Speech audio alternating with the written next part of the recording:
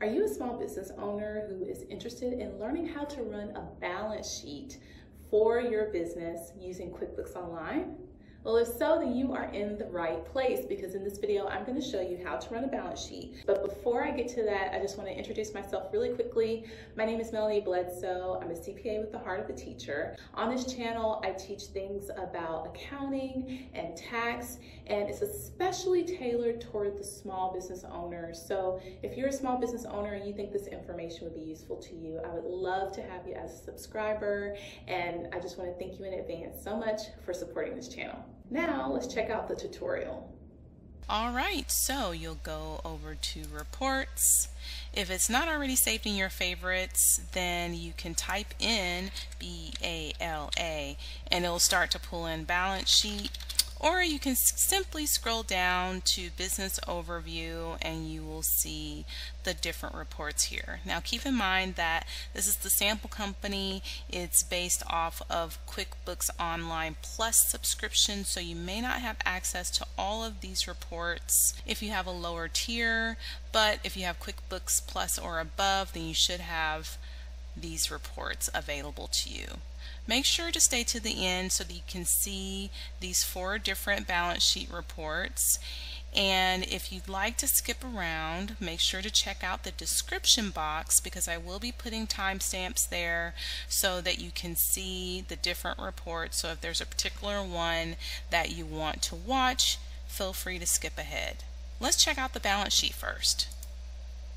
If you haven't seen my other video about how to review a balance sheet or the basics of the balance sheet, make sure to check out that video because I explain the different aspects of this report, which I won't do in this video because it would be way too long. If you need to understand just the basics, start there and then come back here.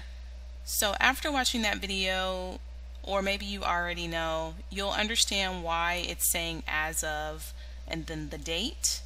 So I'm just going to leave this date the same for these examples, but if you ever want to change the date, you can change the reporting period here, and there are so many different options, or you can just put in the date range that you want to use. So this is just the totals, and here's what the report looks like as is, just totals as of the current date that I'm creating this video. Next, if you want to display columns, so maybe I want to display it by months, and you can always toggle between cash or accrual depending on the accounting method of your business. Run report and now you can see it broken out into months.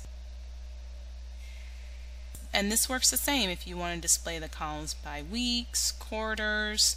I would recommend you would either use weeks, months, quarters, or total products and services, vendors, customers, it probably won't add as much value. And then I'm going to show you a different report where you can compare to um, a different year. Alright, so that's all for just the basic balance sheet. I'd like to show you the next one, which would be a balance sheet summary. So as you can see, it's way more condensed. It's just showing these basic high-level accounts in their different categories and then the amounts. It's not showing as much detail as the regular balance sheet was showing before. So this is a great report to provide to someone if they're just needing a really high level view of your balance sheet and they're not needing all of the details, you can give them just a summary. Next, let's check out the balance sheet details. So this is going the other way. So you're only just looking at the period that you're running the report by and then if you're changing the accounting method. And notice too, since this is showing a lot of detail, you probably will want to have a shorter date range because as you can see this is showing every single transaction that's happening in each category. So this can be a very extensive report. This would be if someone, maybe for an audit, if they're wanting every single detail, then this is a report that you would want to provide to them. let's look at the balance sheet comparison. I want to spend a little bit more time here. So I'm going to keep the date range the same for now and this is what's interesting here. So when you're comparing to another period you can compare to the previous year or the previous period. So I'm going to show you the difference here. Whenever you select previous year, you can do the dollar change and the percentage change.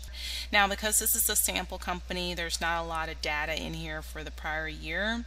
So that's why it's showing zero. But as you can see, it's comparing 2020 and 2021 and it has a column for the dollar change and it has a column for the percentage change.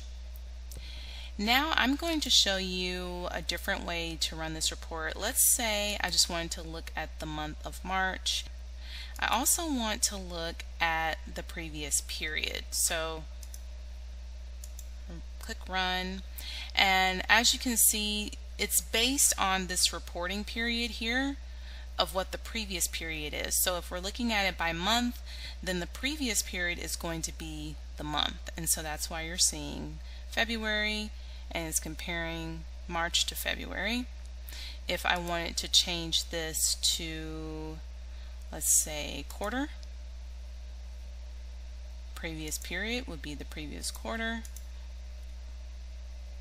And so this is showing Q1 of 2021 and it's comparing it to Q4 of 2020. And so now I'm going to show you um, if you wanted to layer the two together.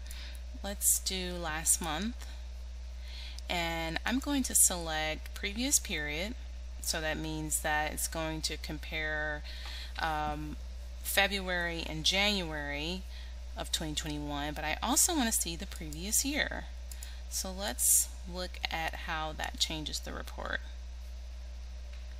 So now you're seeing, okay, this is February and it's saying, okay, previous period, PP is showing what January looked like. You have the dollar change and the percentage change. And then you can also see the comparison of February 2021 to February 2020. So previous year and again the dollar change and the percentage change. So this is a really really useful report if you want to see the change over multiple periods whether it's month, year, quarter and it's really valuable as you are evaluating your business. So if this video was helpful to you, make sure to hit that like button. And if you haven't already, I would love it if you would subscribe or leave a comment if you have any questions or any requests for future videos. Thank you so much for watching and I'll see you in the next video. Bye!